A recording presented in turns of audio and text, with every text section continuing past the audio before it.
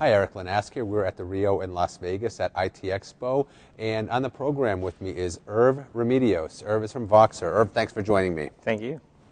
So you guys, uh, uh, Voxer is, is, in the mobile messaging uh, space. What are some of the challenges that uh, that people face with mobile messaging apps today? Yeah, I think there's a, there's a number of things. So First of all, um, there's there's people that are uh, coming at, at mobile messaging from uh, historically they've had push to talk solutions mm-hmm. or two way radios, so they've had those kinds of tools to communicate, and uh, those those although useful, those tools have uh, certain limitations. They're limited in range. Um, they only work on certain devices. Um, if you miss a message, you can't hear it again. It's a live only system, so um, so that's sometimes a drawback. Uh, and then sometimes you just don't want to be interrupted, and push-to-talk systems and two-way radios um, mm-hmm. always interrupt you. Uh, so those are some of the challenges there. On the other side, there's some other messaging tools um, that have become popular recently, but they tend to be very focused on text. And uh, text messaging, although useful and, and uh, you know, very useful in the enterprise, um, doesn't convey the same sort of nuance or context that you do when you're having a conversation with somebody um, it, it, you can't really tell the importance of the message or the intonation in somebody's voice. So those are some of the challenges I think with existing tools. Well, certainly there's, there's no question that um, both email and, and uh, SMS messages uh, have, have the tendency to be misconstrued from time to time. So certainly I think everybody can relate to that. Um, how much uh, need, how much demand is there for these kinds of uh, messaging apps and solutions uh, in the enterprise business? Well, we're seeing a lot of uh, demand for new ways of communicating mm-hmm. in the enterprise, especially over smartphones. Um, so there are many companies that either have some kind of a BYOD program that they're introducing in the company, or just rolling out smartphones to uh, to their users. Um, we're seeing companies want to consolidate the number of devices that they their employees are using. So there's a retailer that we're working with, and they actually have what they call the bat belt problem. So each of their associates has a belt with you know a whole number of different devices, a mm-hmm. two-way radio, barcode scanner, you know multiple devices that they're trying to use. They want to trim that down to one device and have applications on a smartphone to for that person to, to, to use and, and, and, and to have a, a much easier way of communicating. How, how do you differentiate, or what's the, the need for, for what uh, Voxer is offering beyond, um, you know, why wouldn't somebody just uh, use what they have, the abilities of their uh, unified communication solution? Sure. I, I, think what we're doing is we're, we're combining the sort of power of live uh, messaging um, t- mm-hmm. together with the sort of etiquette of text messaging and the etiquette of asynchronous messaging. So when you go into Voxer, the easiest way to describe it is there's a a, a, big button that you can hit, and when you hit it, you can instantly send voice to mm-hmm. one person or a group of people. And when you hit that button, we are streaming that audio live. So if the person's available, they can actually be listening to it immediately as you're speaking, and they can respond immediately. So it's like you're having a conversation. Um, in some cases, though, you're not able to do that. You might be in a meeting, you might be busy with mm-hmm. something else. And so you'll get a notification sent to your phone and that message will be, re- be recorded for you, and you can listen to it later and respond asynchronously.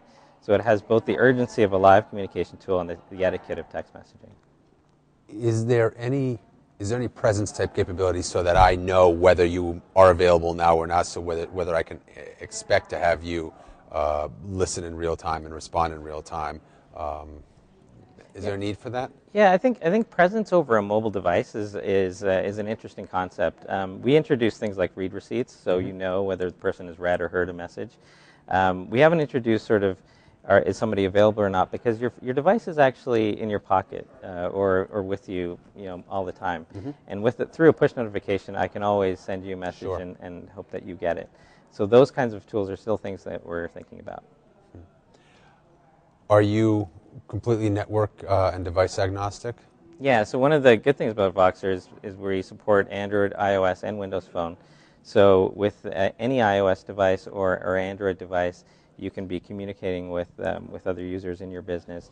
And the other thing is that we're also network agnostic, so you don't have to be on a specific carrier network. We work over Wi Fi, we work globally. So you, there's no lock-in in terms of any kind of uh, network. You can you can use Voxer anywhere on any smartphone. Do you see video having a future in, in this kind of application? Yeah, I think right now we, we obviously started with voice, and that was the first thing that we innovated around. We have text messaging, obviously, because there's many use cases where text is, is important. Uh, it, photos and pictures, you can share those within Voxer mm-hmm. as well as location. Um, video would be a natural extension. It's, it's not something that, uh, that we've introduced just yet, though. What are your plans uh, going forward? Yeah, I think there's a couple of things we're, we're, we're uh, always working on. We're always working on the ability to reduce latency. Um, so we want that message that you're sending to be as low latency as possible to re- receive it as immediately as possible. The other thing that we're we, uh, we're working on is how can we unlock some of the power and the data that's in some of this voice messaging. So although two people are able to consume, or, or a group of people are able to consume uh, the content, it would be good, for example, for a business to be able to transcribe those messages, to be able to act on the information that's inherently available there. And that's something unique that we could provide to that business. So, for example, we work with a number of hotels, and um, one of the things that they could find out is, you know, are there particular rooms that have particular service issues? Uh, because we're always getting called in to repair certain things in those rooms. Um, you know, those are the kinds of business-oriented decisions that could be made off on top of the data that uh, that is within Voxer. do you enable the, the kinds of um, uh, calling features that you know that might be typically available with um, voicemails or, or text uh, uh, forwarding things like that? Um, how about uh, what about group messaging? Sure. Yeah, group messaging is a big thing. So with Voxer Business, you can set up uh, teams or mm-hmm. distribution lists ahead of time, and people can just use those. Very analogous to email. You can also set up um, just ad hoc groups. So if we had to mm-hmm. have a a discussion with a couple of other folks, you can easily add them to, uh, to the conversation and, and talk to them that way. Um, in terms of forwarding and sharing, absolutely. So it's, uh, you can take a file and, and a, a, voice message or a text message and share it with uh, or forward it to any other individual within your business as well. Very neat. Uh, Irv, thank you so much for being on the show today. Thank you very much.